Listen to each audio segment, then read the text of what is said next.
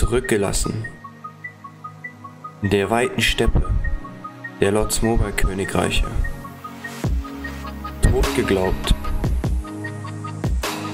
Vergessen.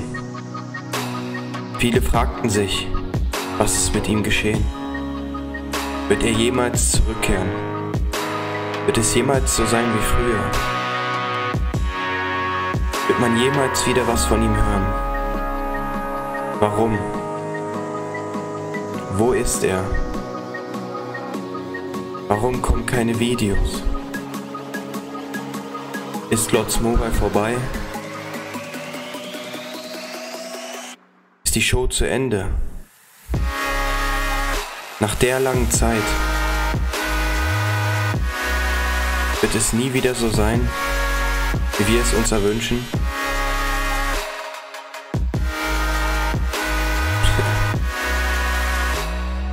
Diese Narren. Diese kleinen Hater.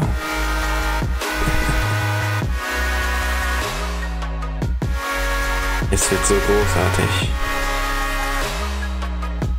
Es wird sowas von großartig. Ich hoffe, Sie haben es genossen. Die kleine Auszeit. Das Grübeln. Ob ich zurückkehren werde. Wie ich zurückkehren werde. Die Zeit ist gekommen. Lots Mobile braucht wieder App Gaming Content.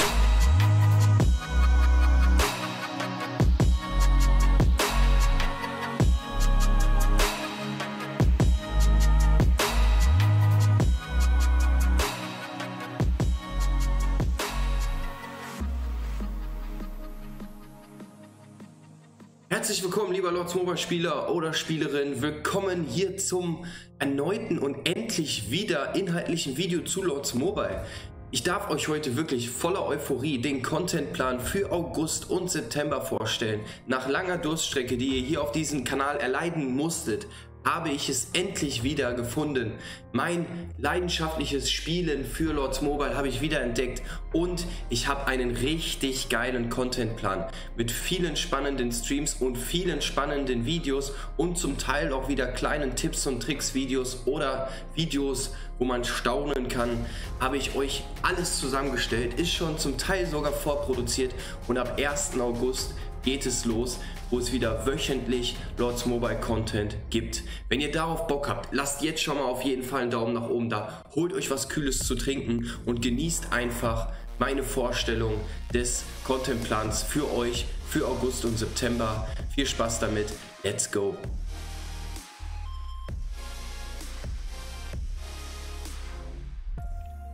Content Nummer 1, den ihr im August oder September erwarten dürft, ist der lang ersehnte und auch oft angekündigte 5 Millionen heilige Sterne Labyrinth Jackpot Livestream. Jackpot Hunt, ein sehr, sehr langer Name, aber ihr wisst, was gemeint ist. Wir machen zusammen einen Livestream, wo wir 5 Millionen heilige Sterne auf den Kopf hauen und versuchen, den Elite Labyrinth Jackpot zu erhalten. Und das wird auf jeden Fall sehr, sehr krass und sehr, sehr insane. Darauf freue ich mich schon sehr. Noch als kleine Randnotiz hier, das ist hier keine chronologische Reihenfolge, wie diese Content-Inhalte erscheinen werden. Das heißt, ich werde euch einfach die 10 Content-Inhalte vorstellen und das ist garantiert, dass das hundertprozentig in diesen beiden Monaten stattfinden wird.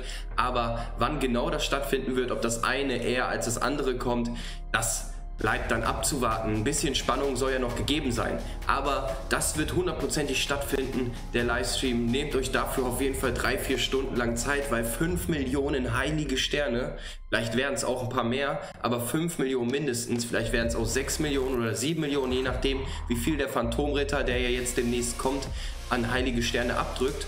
Und ich denke mal so ein 3.000 oder 4.000 ja, heilige Sterne, also Glückskisten-Opening werde ich auch noch machen. Mal gucken, was da alles zusammenkommt. Aber 5 Millionen garantiert. 5 Millionen garantiert. Alles, was da drüber ist, natürlich noch besser. Aber das wird dauern und ich freue mich da richtig drauf. Ich habe ein gutes Gefühl. Ich habe ein gutes Gefühl. Ich glaube, ich kriege den Labyrinth-Jackpot. Und selbst wenn nicht, wir haben jetzt schon fast 2 Millionen Gems. Und die 5 oder 6 Millionen heilige Sterne, die werden uns auch nochmal ordentlich Gems geben. Also macht euch auf was richtig krasses gefasst. Das wird ein sehr, sehr geiler Nice-Stream.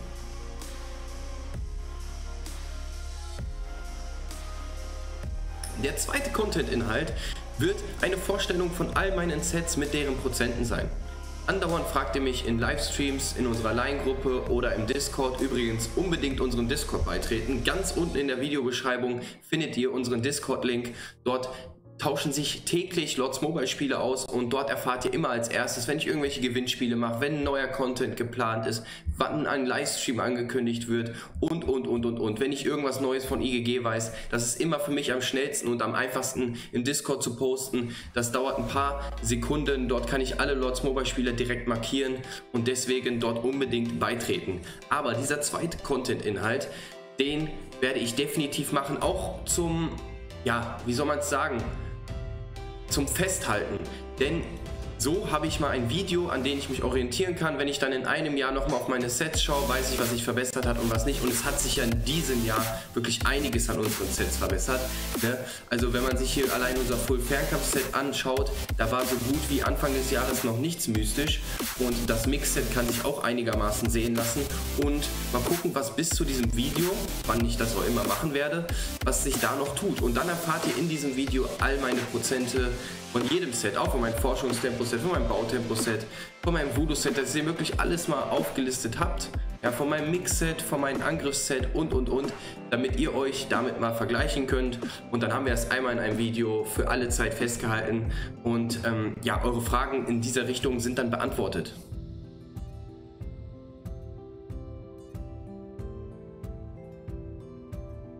Ich habe wirklich lange überlegt, ob ich diesen Livestream den ich jetzt ankündige, also Content-Inhalt Nummer 3, so früh in diesem Video ankündigen soll, weil es mit der krasseste ist, aber vielleicht sogar nicht mal der krasseste Inhalt, weil es kommen gleich noch wirklich heftige Sachen. Ich habe mir wirklich einiges überlegt. Ihr habt ja eine lange Durststrecke und ich will wirklich nur richtig, richtig geilen Content produzieren, wo man sich dann wirklich drauf freuen kann und wo man dann auch wirklich sagt, okay, alle 10 Inhalte, die nehme ich mit, das schaue ich mir an.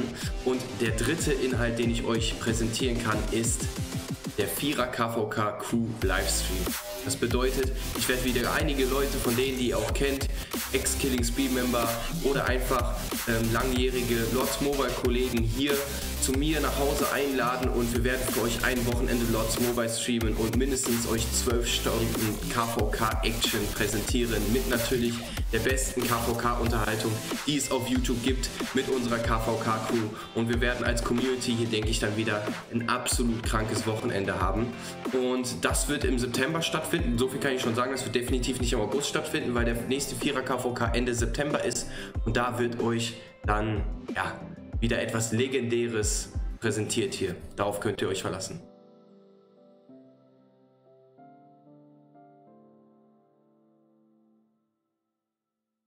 Also ich frage mich ja, wenn du bis jetzt noch kein Like auf dieses Video dagelassen hast und kein Kommentar unter diesem Video geschrieben hast, dass du Bock hast auf diesen Contentplan, ich glaube, dann hast du nie Lords Mobile geliebt.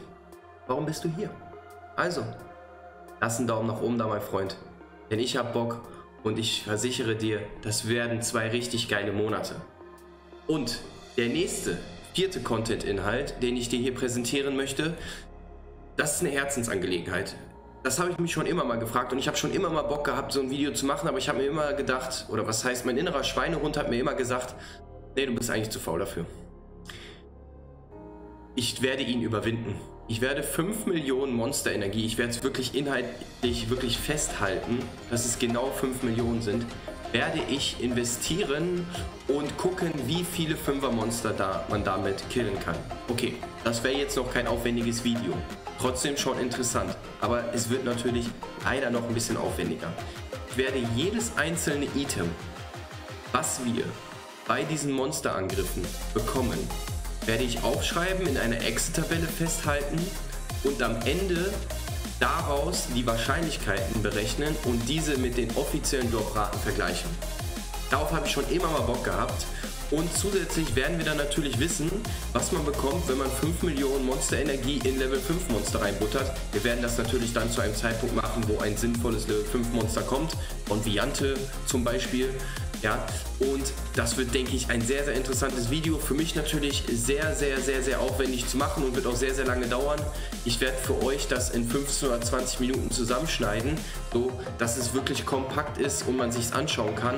Und da werden sehr, sehr viele interessante Informationen bei rumkommen, da bin ich mir sicher. Und man weiß dann, oder man sieht dann zumindest, was man mit meiner Monsterforschung und mit meinem Monster-Set mit 5 Millionen Monsterenergie so erreichen kann und was man dort für Belohnungen bekommt und ob die Dropraten in dieser Stichprobe wirklich dem ähneln, die IGG veröffentlicht hat. Also sehr, sehr interessant, habe ich mega Bock drauf, habe ich wirklich mega Bock drauf, auch wenn es mega aufwendig ist. Wie gesagt, wollte ich schon immer mal machen. Ja, und wir werden es tun.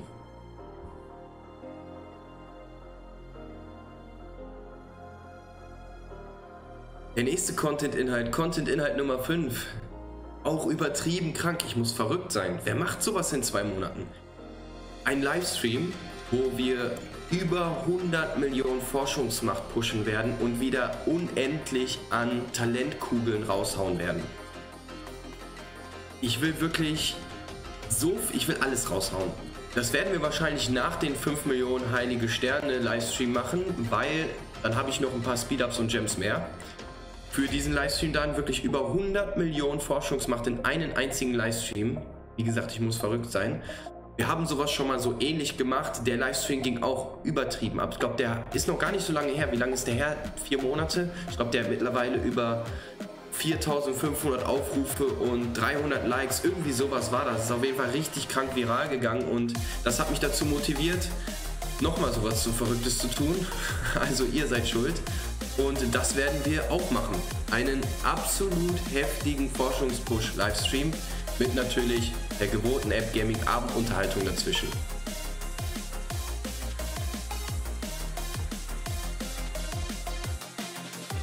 Das nächste Video ist wieder ein inhaltliches Video, Content Inhalt Nummer 6.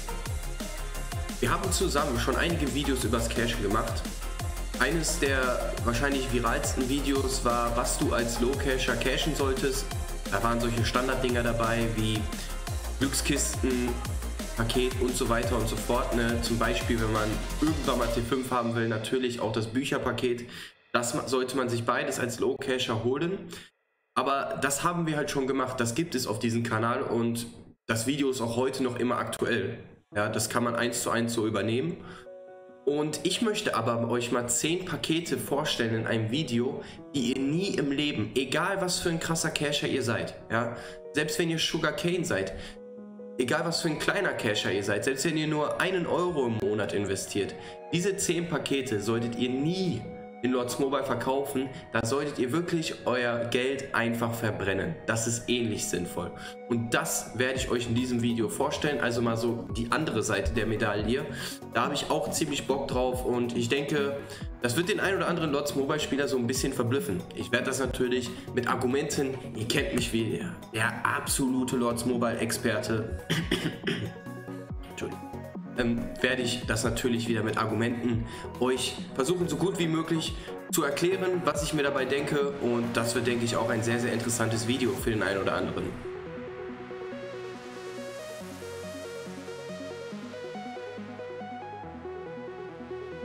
Das nächste Video, und das darf natürlich in so einem Contentplan nicht fehlen. Wir haben zwar schon den 4er KVK, wo es absolute Kriegsaction geben wird, aber Wann habe ich das letzte Mal für euch ein wunderschönes Kriegsvideo zusammengeschnitten? Viele wissen es, ich bin bei den Red Eagles und die hauen natürlich das ein oder andere Mal richtig geile Rallyes raus. Und natürlich wird man hier auch das ein oder andere Mal gefressen. Und das werde ich euch beides in so einem kleinen Best of Red Eagles Rallies oder Rallies mit den Red Eagles, wie ich das Video dann nennen werde, weiß ich natürlich noch nicht. Aber so ein richtig schönes, knackiges Kriegsvideo will ich euch mal wieder zusammenschneiden, wo ich mir so richtig Mühe gebe, so ein paar Effekte einbaue, ein bisschen Humor, ein paar Clips, dies, das, Ananas. Da habe ich richtig Bock drauf. Schon lange kein Kriegsvideo mehr für euch zusammengeschnitten. Das muss auf jeden Fall mal wieder kommen. Und ja, das werdet ihr dann hier auf dem Kanal als Content-Inhalt Nummer 7 sehen.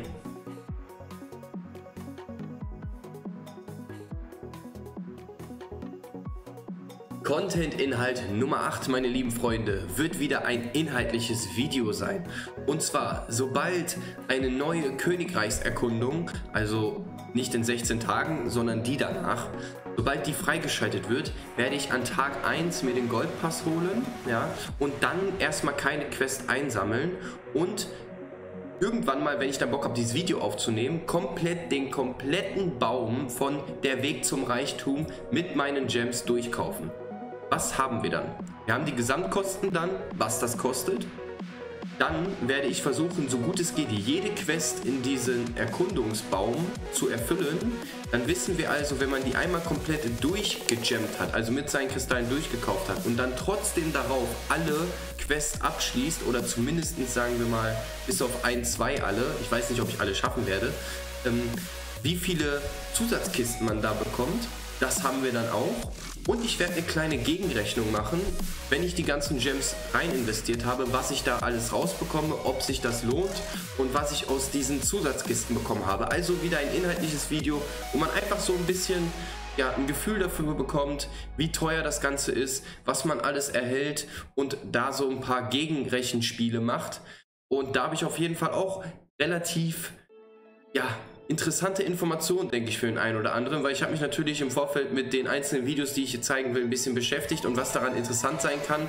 Und deswegen habe ich hier natürlich auch nur Videos und Livestreams mit reingebracht, die auch irgendwie, ja, den einen oder anderen überraschen könnten. Und ich glaube, dieses Video wird den einen oder anderen überraschen.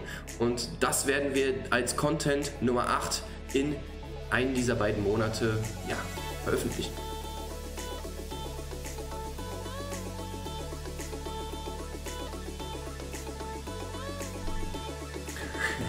Die letzten beiden Inhalte auch zu wild. Ich weiß gar nicht, Leute, ich bin selbst so gehypt. Also das stinkt schon nach Eigenlob.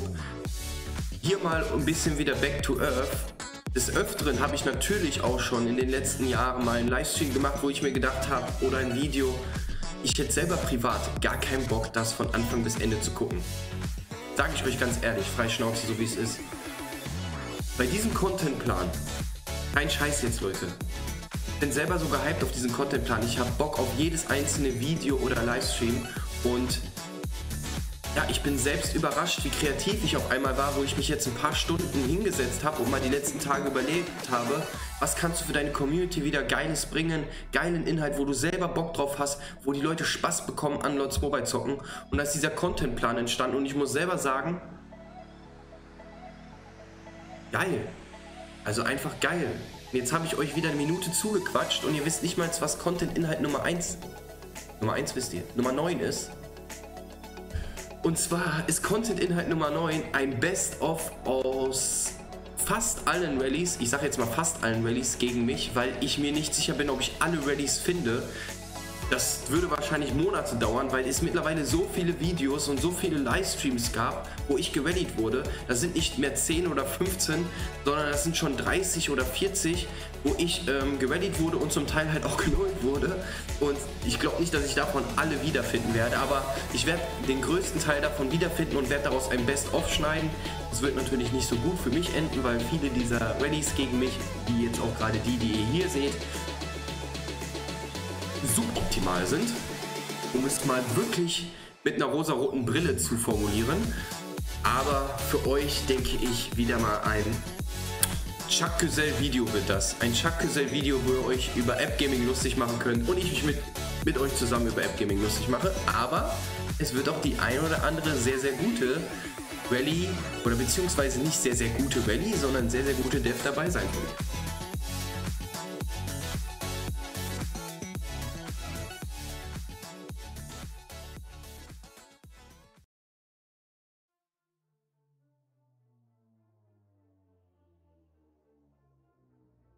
Guten Tag. Da mit dem Polizeipräsidium Dortmund-Möllerbrücke? Ja. Mein Name ist Krüger und ich muss etwas melden, etwas Dringendes melden. App Gaming tut es schon wieder. Ja, Sie haben richtig gehört. Sie wissen schon, worum es geht. Sie müssen unbedingt, dringend, direkt bei den Herrn Krüger vorbeifahren. Er tut es wirklich schon wieder. Er hat es wieder vor. Obwohl er andauernd genullt wurde, obwohl ihn seine Community wirklich niederträchtig unter die Gürtellinie gemobbt hat deswegen. Er tut es wieder. Er will es wieder tun. Noch größer als je zuvor. Er lernt nicht aus seinen Fehlern. Bitte helfen Sie ihm. Bitte helfen Sie ihm. Er möchte 40 Millionen Truppen in einen Livestream pushen. Können Sie sich das vorstellen? Sie müssen sofort, sofort das SEK alles zu ihm schicken. Das muss verhindert werden. Unbedingt.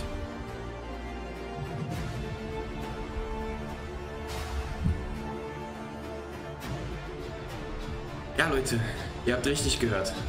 Content-Inhalt Nummer 10.